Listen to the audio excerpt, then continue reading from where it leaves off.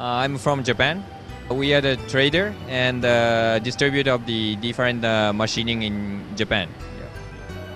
In this event, we are looking for the different machines, like agricultural machines, which can be distributed in uh, Japan market. I seen this event in uh, internet. I quite there's so many people, there, there's so many exhibitors and uh, new products and, a very competitive price. So quite impressed.